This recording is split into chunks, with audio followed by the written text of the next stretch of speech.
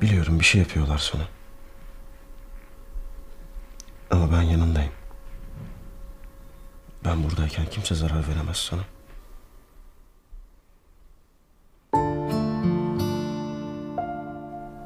Bir tane. Buradayım. Anlat neyle tehdit ediyorlar seni?